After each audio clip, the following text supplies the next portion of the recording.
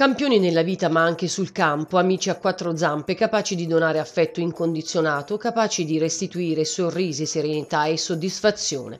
I nostri compagni di vita da amare e non da abbandonare, ma coccolare e tenere stretti al proprio cuore perché loro non hanno voce e non possono difendersi.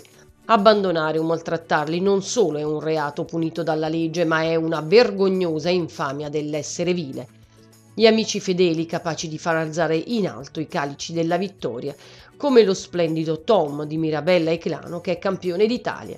Brinda la squadra campana dove in Abruzzo c'è il cuore irpino con Giampiero Sepe.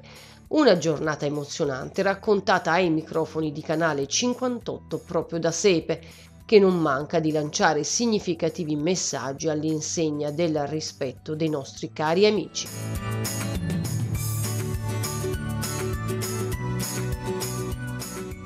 era un campionato veramente difficile. Al via c'erano oltre 36 squadre provenienti da tutta Italia e, una schiera veramente enorme di campioni. Una gara italiana, ma come mai hanno vinto proprio questi campioni irpini? I campioni irpini si sono laureati campioni d'Italia in quanto sono uh, grandi cani da lavoro e hanno dimostrato uh, sui terreni uh, di Castiglione Messer Marino un paesaggio spettacolare con paesaggi di altri tempi di essere mh, di avere delle grandi qualità, forse anche un po' di fortuna rispetto agli altri.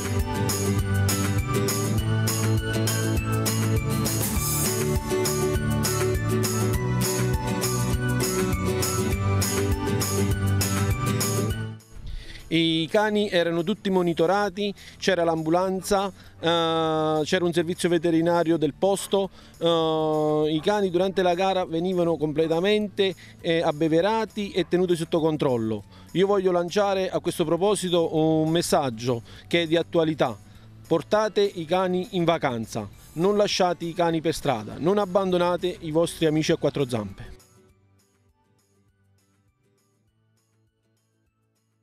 I nostri compagni di vita, siano essi un cane, un gatto o un qualsiasi altro animale da compagnia, ormai nella nostra società non sono degli animali, ma sono dei compagni, degli amici, dei figli che entrano in società e nella famiglia.